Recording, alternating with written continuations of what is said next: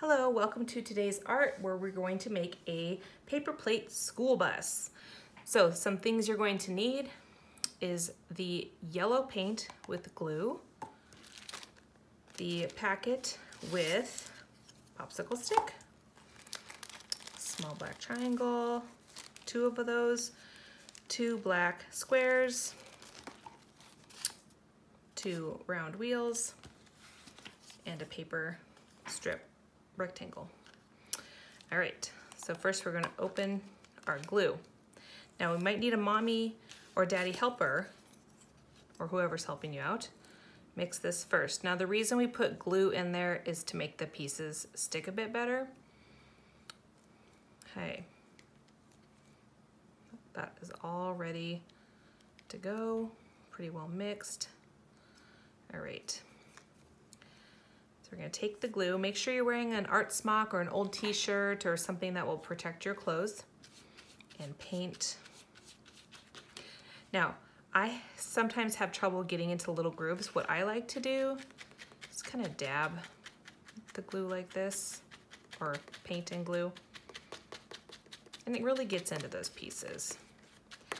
You can choose to paint all of it or just a little portion. It's however you want to make your creation. And there we are.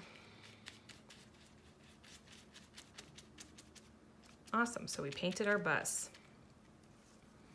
Okay. I have a little wet wipe to wipe my fingers if I get a little bit on, no big deal. So I think first I'm gonna put the middle piece. Now you can do this however you want. This is your creation. Okay, and then I'm going to choose to make a pattern out of my triangles and squares. You don't have to, or you can, whatever you wanna do. So I'm gonna do triangle, square, triangle, and then square. And I'm gonna wipe up and then put my two wheels on the bus. Awesome, that looks so cute. All right, and then once this is dry, I have a popsicle stick and I provided you with glue dots. Go ahead, I can just do that with the glue dots and get them off.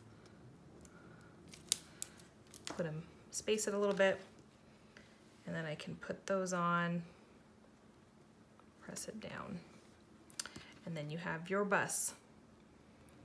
All right, super cool, and you can do it however you like. You do not have to make your bus how Miss Lumbra made their bus, her bus, but you can choose to do it this way or however you like. I can't wait to see pictures.